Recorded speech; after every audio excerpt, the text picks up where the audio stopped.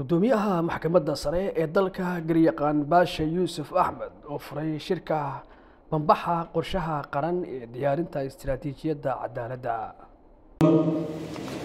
Wasiirka wasaaradda cadaaladda iyo arrimaha dastuurka xeraalyaha guud ee qaranka madaxda kala duwan ee labada heer ee dowladda garsoorka wasaaradaha ciidamada asluubta booliiska dhammaan marti sharafta kale ee madashan quruxda badan nagala soo qayb galay. Assalaamu calaykum waraxmatullaahi wabarakaatu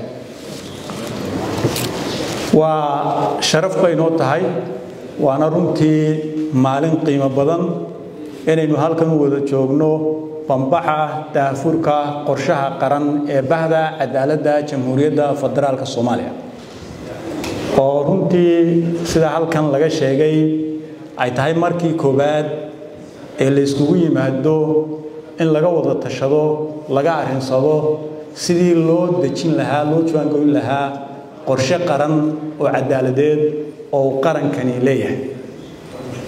Sidaynu wada qirsannahay cadaaladdu waxay aasaas u tahay wax kasta oo nolosha bini'aadmiga saameeya waxay aasaas u tahay amniga iyo deganaanshaha dal iyo bulsho ay u baahan tahay. Waxay aasaas u tahay horumarka ay ummad samayn karto. Waxay aasaas u tahay yaraynta faqriga iyo kobcinta dhaqaalaha. Waxay aasaas iyo lama huraan u tahay isku caloolfayoobaanta iyo wadajirka ummadda. Ummad markaa waxaa haddii ay cadaalad weydo waxaa ku dhaca waxaa ku dhacay ummaddii soomaaliyeed. Dhaqanka soomaaliyeedna mar walba waxay aaminsanaayeen iyadoo aasaasna uu yahay qur'aanka iyo diinta islaamku inay cadaaladdu wax kasta iyadu tahay. La'aanteedna ummadii aanay wada jiri karin islamarkaana aanay jiri karin. Waxaad ka garan kartaa in badan soomaalidu dareenkooda dhabtaa waxay ku cabiraan suugaanta suugaantooda aad bay ugu jirtaa inay kaga hadlaan cadaaladdu inay wax kasta aasaas u tahay inayna cadaalad la'aan ummadii aanay jiri karin nabadna aanay ku naalloon karin.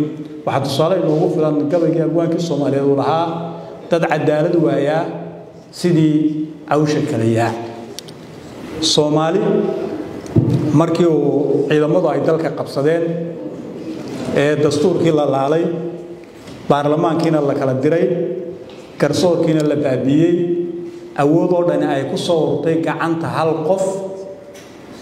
Waxaa dalka lagu xukumayaana ay noqotay waxa isagu habeenkii ku riyoodo shuruucduna ay noqoto warqadda uu soo saaro isagu habeenkii markuu soo tooso subaxii uu soo saaro ee ka bilaabanta marka la arkay xaashida koowaad iyo labaad ee kacaanka soomaali waata halkaa dhigtay soomaali burburkeedu wuxuu ka bilaabmay markii cadaaladdii ay meesha ka baxday.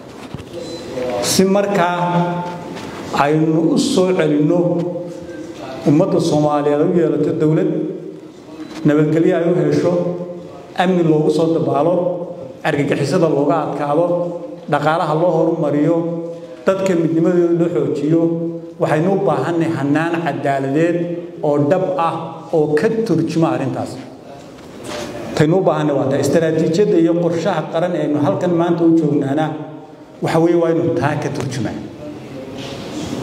Waa inuu ka shaqeeyo dhismaha iyo aasaaska iyo xaqiijinta hannaan cadaaladeed intayna halkan wada joogta maadaamaynu nahay madaxdii iyo hoggaankii guud ahaan hay'adaha bahda cadaaladda.